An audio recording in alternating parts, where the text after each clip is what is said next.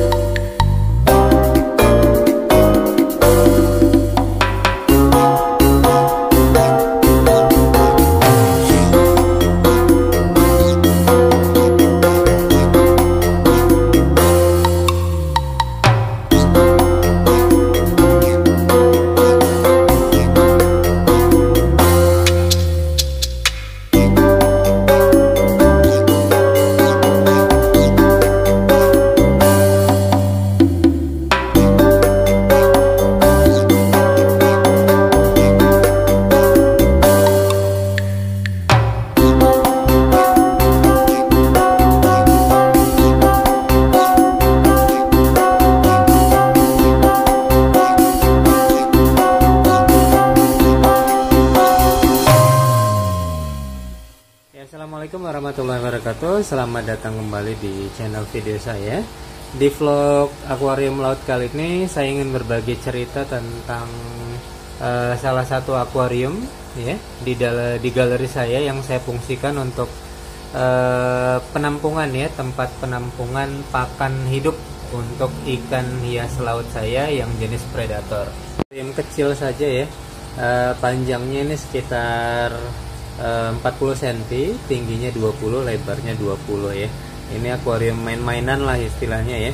Uh, ini kemarin tuh saya beli untuk anak saya akuarium kura-kura gitu. Untuk melihara kura-kura Brazil kura-kura hijau itu. Tapi sekarang udah nggak ada lagi ya. Jadi ini saya fungsikan untuk memelihara ini nih. Oke saya memelihara udang sungai. Ini ada udang sungai yang saya pelihara sebagai pakan ikan predator saya. Ya oke okay ya, jadi saya punya satu akuarium yang diisi oleh ikan hias laut ya jenis predator yaitu ikan lionfish dan juga ikan uh, brown kelly ataupun juga harlequin sweet lips ya.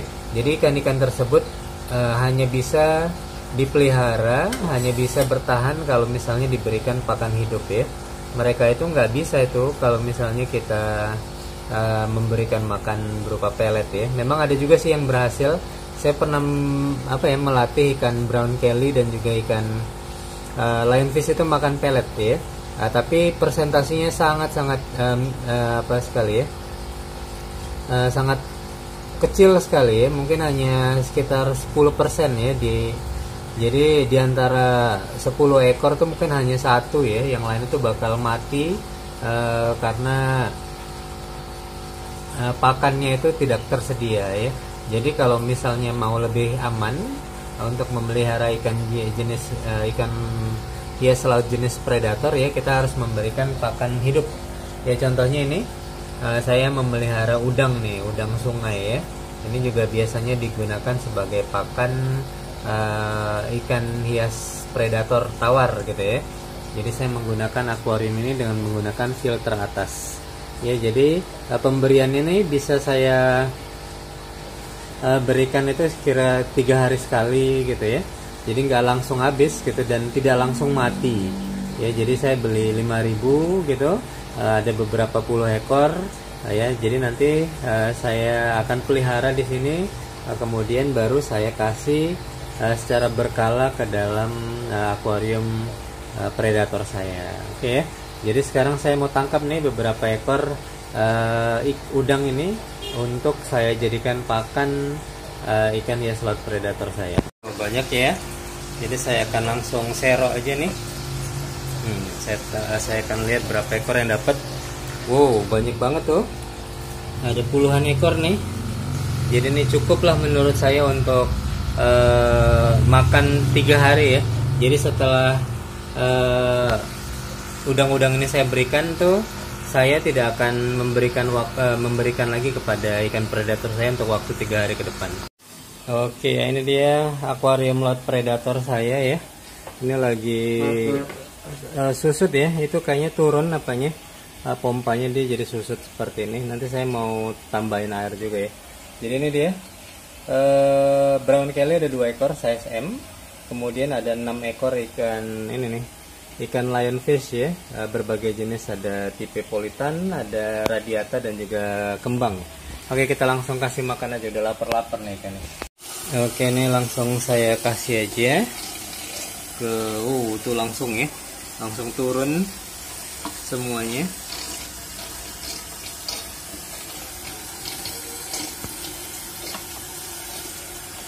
Oke, kita lihat nih keseruan dari ikan-ikan predator ini ya.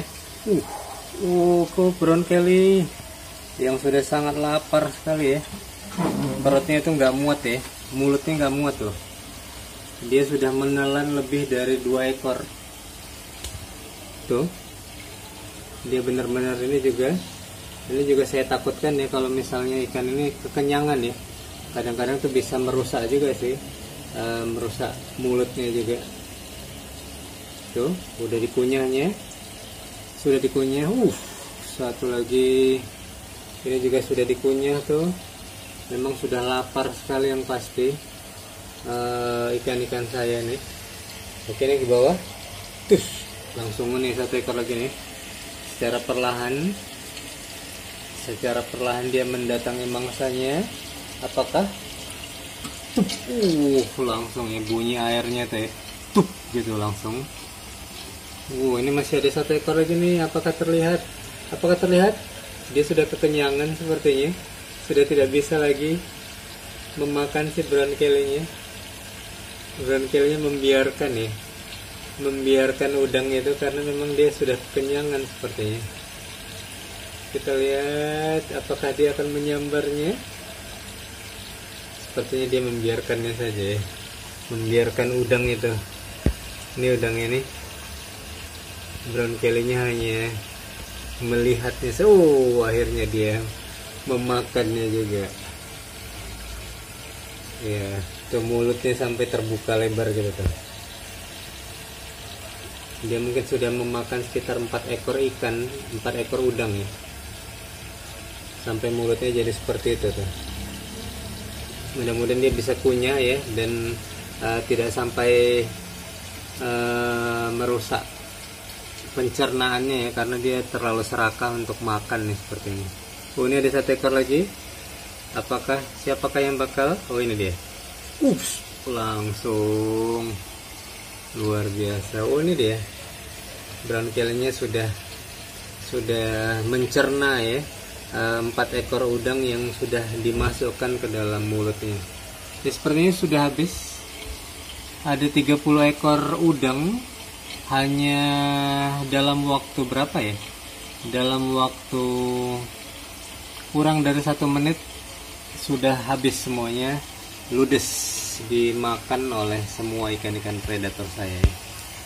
Ya itulah dia sensasi ya ketika kita memelihara ikan uh, predator ya. Feeding time ya. Feeding time itu selalu menjadi sensasi ya ketika kita melihat ikan-ikan uh, laut predator ini makan tuh benar-benar sebuah apa ya pasti sebuah sensasi yang sangat luar biasa ya. Melihat si para pemburu ini saat para pemburu yang sangat sangat haus ya akan mangsa gitu nih ya. Inilah dia ikan hias laut jenis predator. Lionfish tipe kembang juga ada brown kelly ada radiata ada politan ya. Ya ini nggak bakal nggak bakal apa ya. Nah, menurut saya sih jauh lebih cantik jauh lebih unik jauh lebih sensasional ya dibandingkan uh, predator ikan ikan tawar predator ya ikan predator air tawar yang harganya juga sangat fantastis. Ya sampai berpuluh-puluh juta gitu ya tapi menurut saya sih uh, dari segi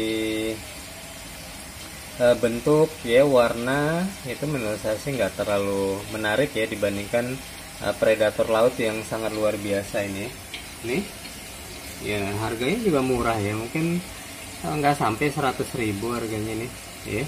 Ini jenis kembang ya. Kemudian ini si politan paling murah ya paling murah paling 50.000 ya. Kemudian ini uh, radiata gitu ini brown kelly. Nggak harus berpuluh-puluh juta ya.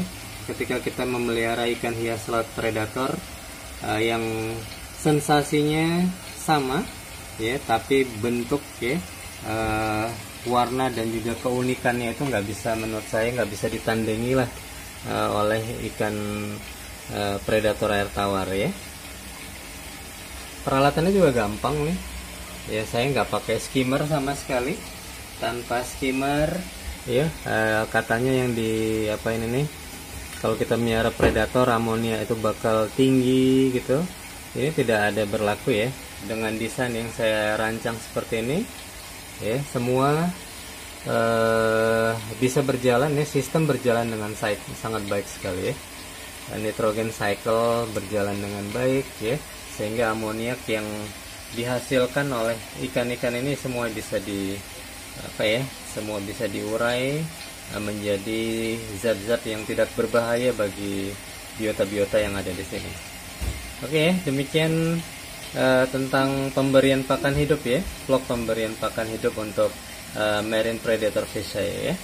Oke, jadi kalau misalnya ada yang berminat nih ingin mendapatkan uh, ikan predator laut ya, marine predator fish seperti uh, ini jenis kembang ya.